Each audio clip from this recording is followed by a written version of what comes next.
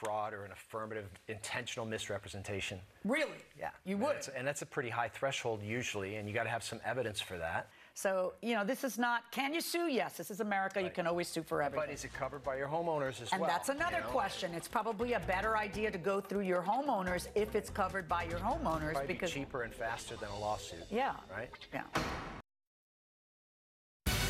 Breaking news right now on KCAL 9 News at 4. Now, breaking news happening in Seal Beach, where there's a massive traffic backup on the 405 freeway at the height of the afternoon commute, where a car has been crushed under a big container. KCAL 9's Desmond Shaw is live overhead in Sky 9 with more on the situation there. Des.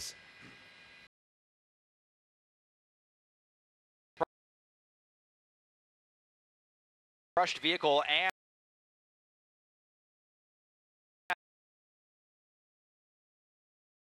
the freeway about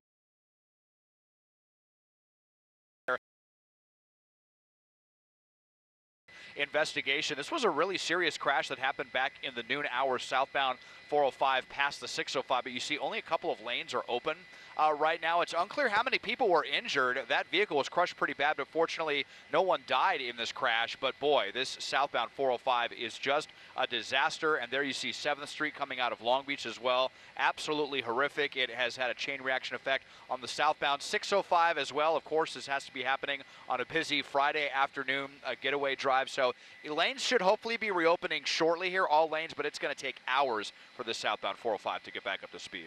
Live in Sky 9 overhead, I'm Desmond Shaw. Juan, back to you in the Yeah, studio. What a mess out there, Desmond. Thank you. Well, we have more traffic troubles to tell you about this afternoon. There's a big backup on the 5 freeway in Burbank. Four lanes on the northbound side are closed at Buena Vista because containers fell off a big rig into lanes. The CHP says one of those containers was filled with lithium batteries and it caught fire. Burbank's fire's hazmat team had to hose them down, but we're told nothing spilled out, luckily. Lanes are expected to be closed until at least 5 this afternoon. Now to this two people tried to rob a man in the middle of West Hollywood this morning. Then they hit him with their car. This all happened just after 9 on Sunset Boulevard near North Weatherly Drive, not far from the Roxy. Security video from the scene shows one of the suspects with a gun approaching the victim in a back parking lot. The victim tries to get away, but the suspect chases him. The second suspect in a dark colored four door sedan later hits the victim with the car. The driver then gets out of the car, approaches the victim, and the two struggle. After a few moments, the suspect robs the victim, runs back into the car, and takes off. That victim was rushed to the hospital. We do not know his condition right now. Officers are now trying to track down those two suspects. Now to the final days of the LA mayor's race. It will be filled with campaign events all across the city. Rick Caruso and Karen Bass are making their cases to voters. KCAL 9's Jeff Nguyen is live in downtown LA. And Jeff, needless to say, this race is really tightening up.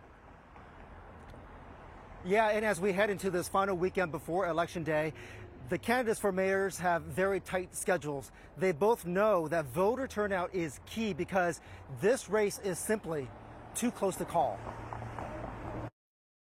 Now that we're tied, every vote counts. The poll that really matters is the poll on Tuesday. There is cautious optimism on both sides following the latest poll from UC Berkeley's Institute of Governmental Studies and the LA Times. In the race for LA mayor, it's a toss up between Congresswoman Karen Bass and billionaire developer Rick Caruso. There's a ton of momentum behind uh, the campaign, and uh, we are tied.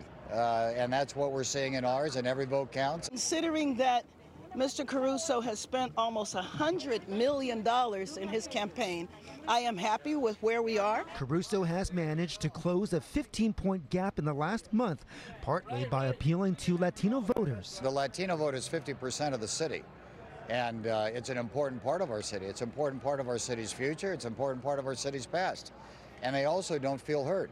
They feel underrepresented. 32 years ago, I started an organization in South Central Los Angeles that was built as a African American and Latino organization. One of Bass's main talking points has been the protection of abortion rights. The message of today is, and the message of yesterday and the day before, is that I am the only Democrat running in this race pro choice Democrat. Caruso says his family has supported Proposition 1, next Tuesday's ballot measure to create protection for reproductive freedom in California's Constitution. Well, we've contributed, I think, to date about a million three supporting the effort to get Prop 1 passed.